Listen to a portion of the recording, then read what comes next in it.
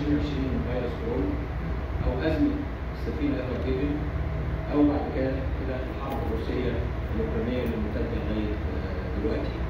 فهي إن إحنا لما بنتكلم على آه، الازمه آه، بالذات كورونا 2020 اللي عملت إغلاق تام أو شلل تام لجميع المواد البحرية وجميع التجارة العالمية واثرت على كل المواد البحريه وعلى القنوات القنوات الرائده انها حافظت على سلاسل الإمداد حافظت على مرور السفن في قناه السويس ولم تغلق لساعة آه، واحدة. بل بالعكس يمكن عملنا آه، كمية كبيرة جدا من التخفيضات للسفن دي اللي نشجعها ان تعبر في قناة السويس وما في تأثير لازمه كورونا على هيئة قناة السويس.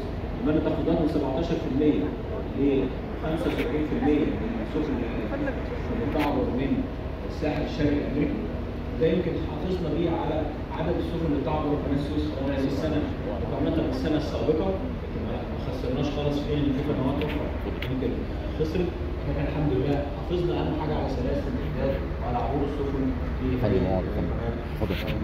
السويس. ما ننساش برضه إحنا رساله المرشدين وإصرارهم إن هم ينفذوا.